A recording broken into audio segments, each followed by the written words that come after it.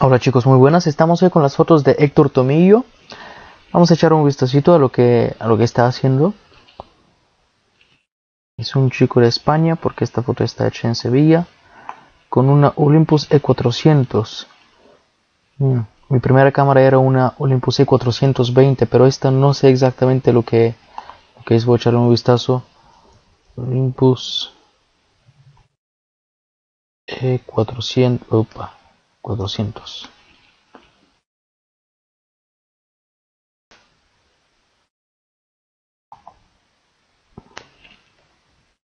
Sí, muy parecida a la mía. O igual... Mm, me parece que es un modelo un poco anterior a la mía. Pero yo estaba muy contenta con esta cámara. Porque, bueno, no es ni Canon ni Nikon. Pero fijaros. Tiene una ranura de tarjeta XD. Me parece que se llamaban XD estas, ¿no? Sí. otra ranura para tarjeta eh, CF, Compact Flash. Y puedes hacer fotos en una y luego en la otra. O puedes hacer fotos que eh, simultáneamente se guarden en las dos. O, puedes hacer lo que quieras. Y esto mola muchísimo. Eh, estas, estas cámaras son muy pequeñas, muy compactas. Yo no estaba contento con la mía por la ISO que tenía, pero la he usado y me ha servido durante mucho tiempo. Incluso he hecho algunos trabajos eh, comerciales con ella y, es muy buena.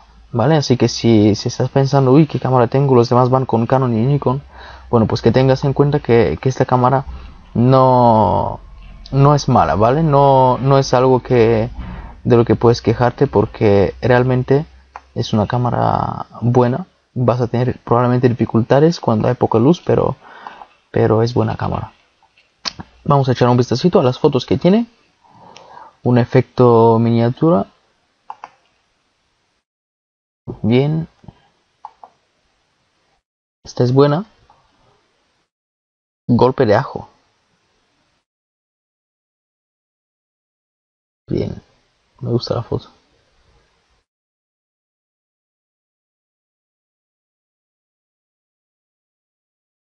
Qué bueno.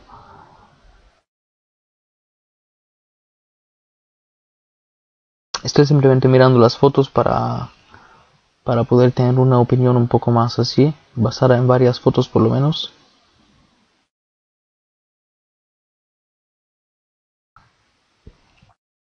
Pues hasta aquí una...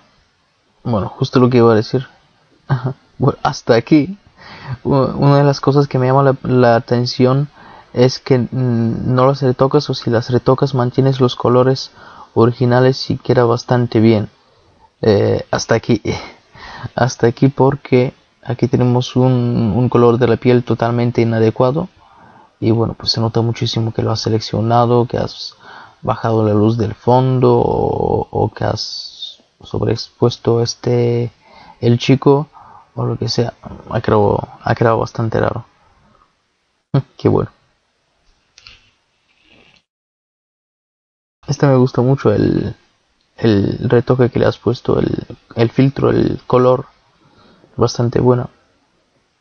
Creo que no te ha hecho falta el flash que has utilizado, pero bueno.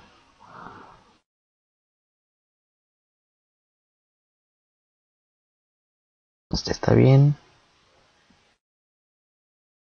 Aquí también has... Eh, yo creo que no ha hecho falta corregir la, la exposición exclusivamente de, del sujeto, ya que podría haber quedado como, una silueta, pero es que se nota alrededor, ¿sabes? Se nota. Entonces tú lo que puedes hacer es, no sé si tengo el Lightroom abierto o no. Es que si no lo tengo abierto, si intento abrirlo ahora no le va a costar mucho.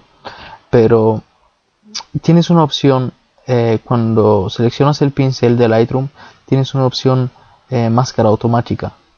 Eh, lo que hace es seleccionarte un poquito mejor las cosas y creo que te puede ayudar. Tú pruébalo y solo nada más probarlo vas a entender exactamente cómo funciona. Esta es muy buena.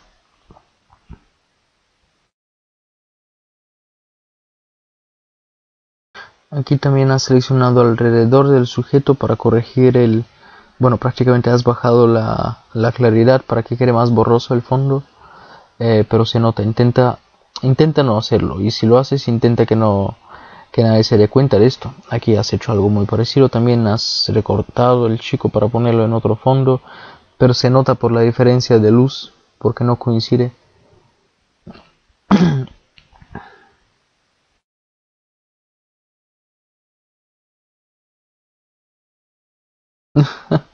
Qué buena.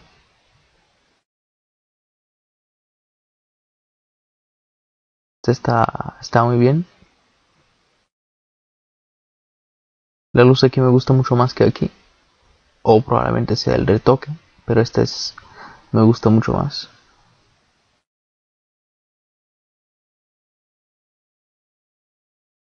Está bien, está.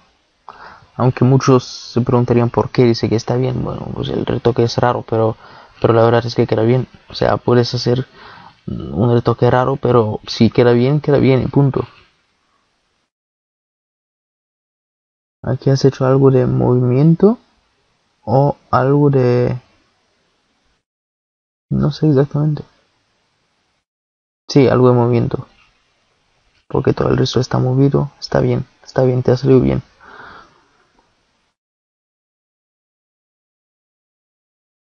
Esto es muy raro. Esto no te recomiendo hacerlo. Lo de seleccionar una parte de la foto, hacerla en blanco y negro y otra parte en color no, simplemente no queda bien.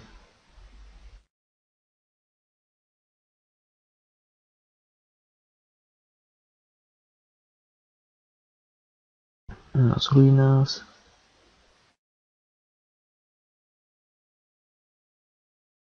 Vale, estas han sido las fotos. Bueno, lo que te puedo decir es esto, que puedes evitar algunos retoques un poco raros como este, por ejemplo.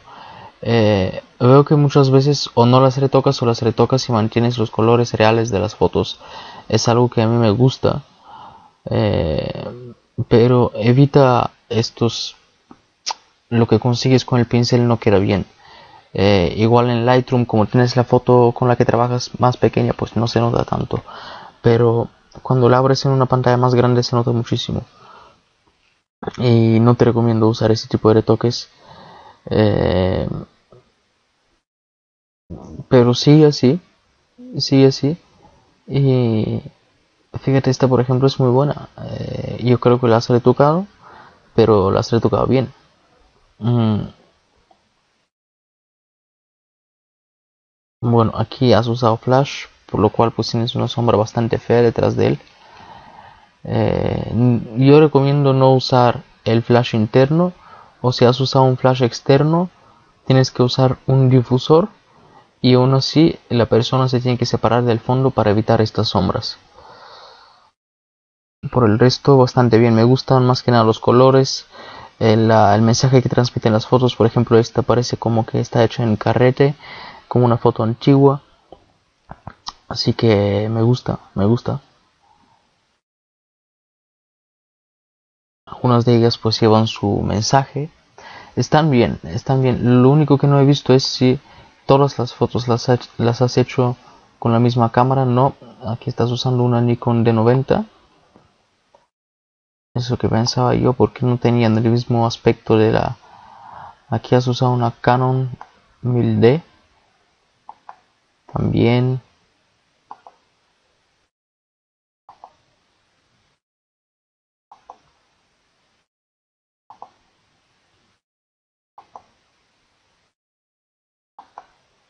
Vale, todas estas son con la Canon 1000D.